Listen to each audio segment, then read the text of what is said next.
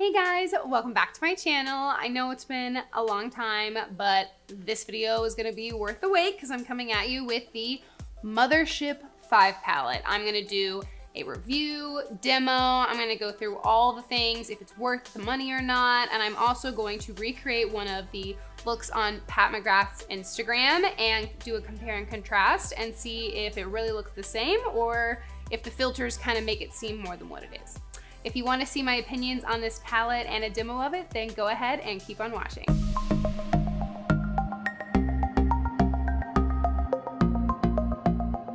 Okay, first things first, starting off with the packaging. Now, Pat McGrath, obviously everyone talks about how cool the packaging is. I do like this. I mean, the artwork on the carton is really cool and it has this cool little twisty off thing that has it inside. Um, I already took the palette out. But I mean, it's cool, but it's a piece of cardboard. I, out of all the exterior packaging that I've had on fancy products before, I don't think this is that great. It's cool, whatever, but this is definitely not a reason to get the palette. If you think it's gonna be wrapped really cool, not it. When you open it up inside, you get the little sheet that has all the names on it. So don't use this if you're trying to follow, or don't lose this if you're trying to follow one of her tutorials, because you definitely need to know what shade it is. Now, as far as the palette, please ignore how dirty mine is because I've been using it a ton. But this is extremely luxurious. It is heavy. Like this, you could honestly lift weights with this. It is really heavy and it has a gold back that looks super cool. And then you open it up and you've got a mirror, which is really nice. And then you have all the shades, obviously. Mine has been well loved, but for good reason.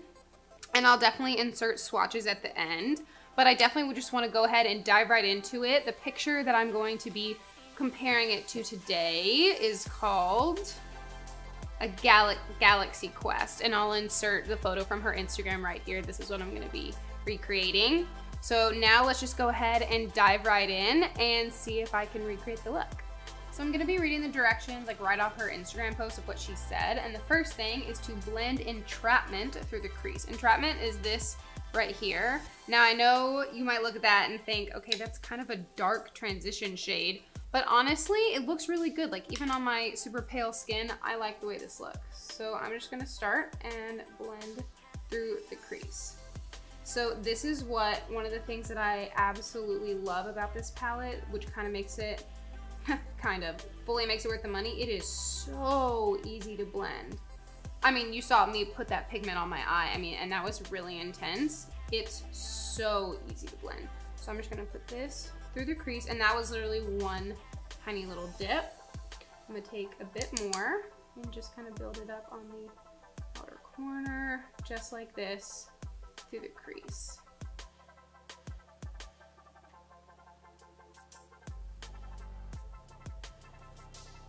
Okay, easy, done. The next thing that it says is define the outer and inner part of the lid with extreme aubergine on a flat pigment on a flat brush. Okay, so I'm pretty sure, yeah. This is Extreme Aubergine, this really pretty like dark purpley color. Um, now it says put it on a flat brush, so let's see.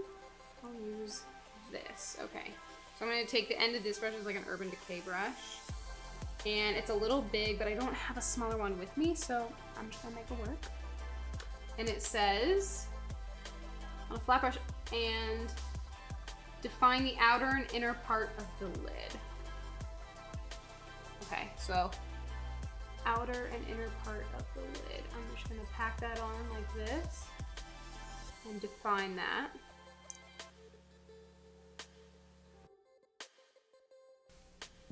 Literally just defining it, not blending it at all. Okay, go to the inner corner. This is where I really wish I had a smaller brush, but you win some, you lose some.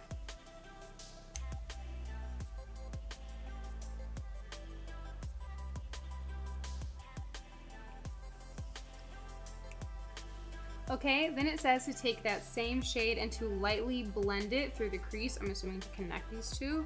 So that's what I'm gonna do. Just really lightly.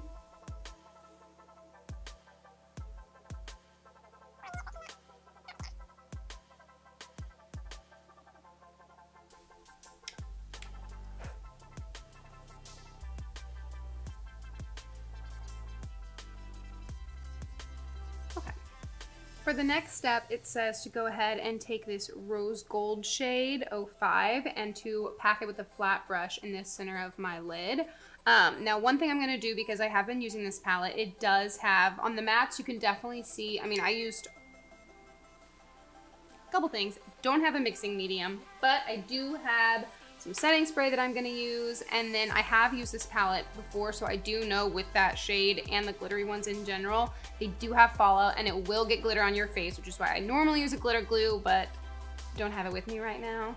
It is indisposed, so I'm definitely gonna use the mixing media or the setting spray, and I'm also going to pack on powder underneath my eye to catch the fallout. I didn't have to do that with the matte shades though, because as you can see, literally zero fallout, and I use the absolute darkest shade in the palette it was gorgeous, blends like a dream. Honestly, I've never used matte shades that blend like this where it's so easy. You can just put it on your lid and do two swipes and it's blended. I mean, it's crazy. You can definitely see that's why this has such a high price point because the quality is incredible. So I'm gonna go ahead and pack some powder under my eye and then I'll be right back and put on that sparkly shade. So now I'm just gonna take this little flat brush. I'm going to wet it a little bit because it's the closest I have to a mixing medium and go right in with that rose gold shade. It's so pretty. I want to rub it all over my body. Oh my God, I'm just looking at it in the pan right now. And then it says to pack this on the lid. So that is what I will do. I shall pack. Oh, that's that thing that Jaclyn Hill does when she loves the shade. She goes, but that's that's what this makes me feel right now, putting this on my lid. So that is what I'm doing. I'm putting it in the center of my lid, mainly in the parts where I didn't put that shade. Okay, well, that's gorgeous. And you could honestly stop here. So, so, so pretty. Okay, now that that's on there, it says to press VR Fire Opal, which is this like duochrome shade down here, which I actually think is probably my favorite shade. No, the red is my favorite shade, but it's one of my favorite shades in the palette. It's so pretty.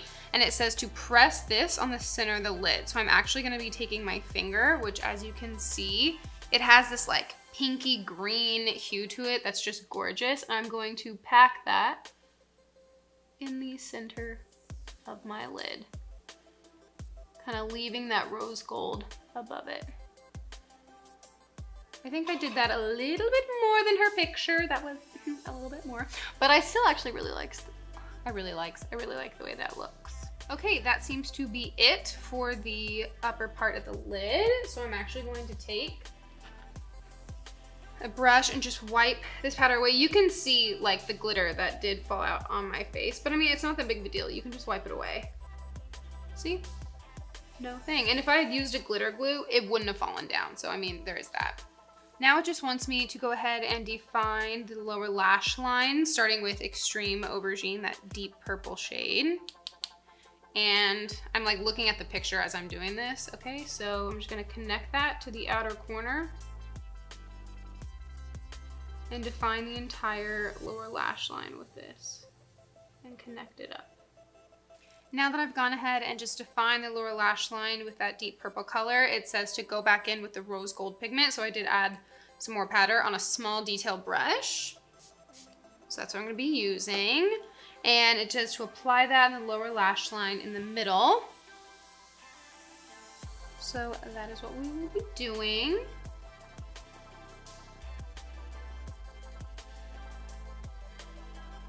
I'm applying it right in the center.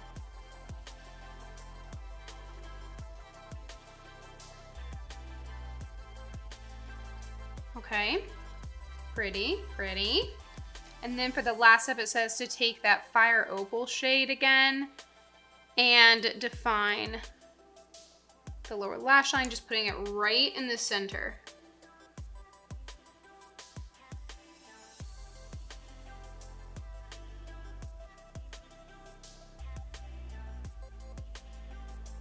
Okay.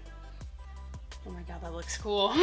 I'm obsessed with that shade. It's so weird because like looking at it on camera, it definitely had, like I'm looking in the mirror, it's like a greenish purpley eye, so cool. But when I look at the palette from the side, it 100% looks pink. So it just goes with that rose gold, so pretty.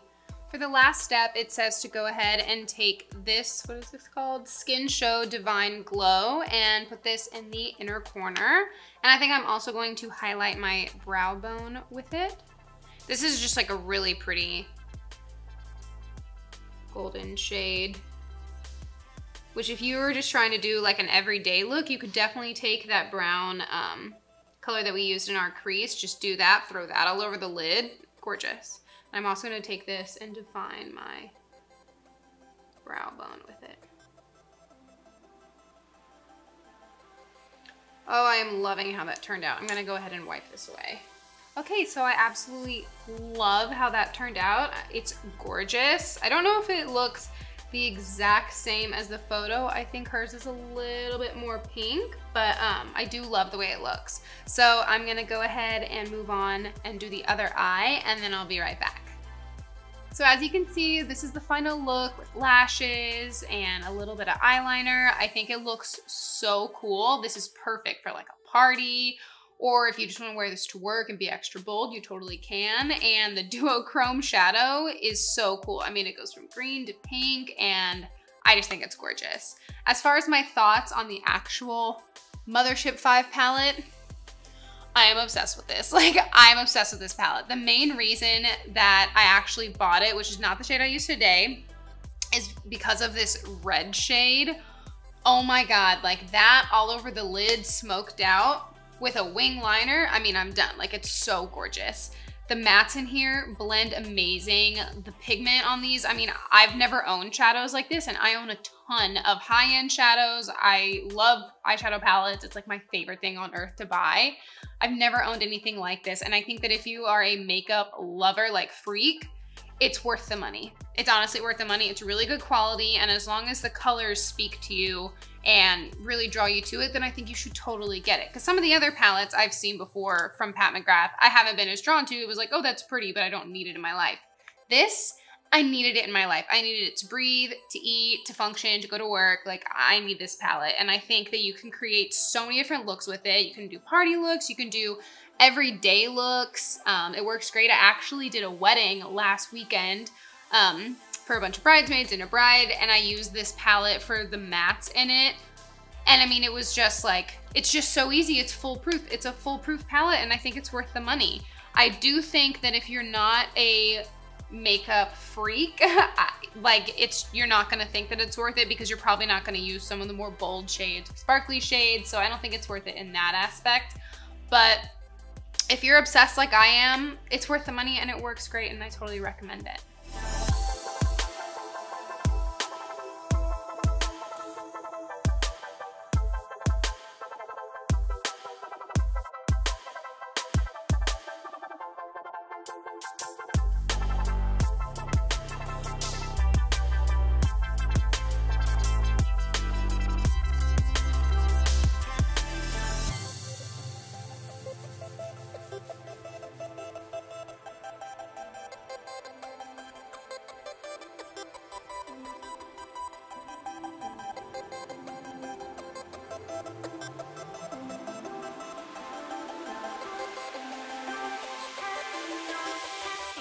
So that's gonna be it for this video. Another eyeshadow palette that I probably didn't need, but after I bought it, I needed it in my life is complete.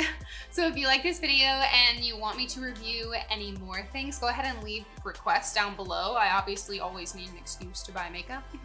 and I really appreciate you watching. Don't forget to click the like button, comment, and subscribe. Hit the notification bell to get notified when I post new videos, which after this are coming every single week. I promise I am back on my filming schedule and I will be posting again. So I really appreciate you guys for watching and I'll see you next time. Bye.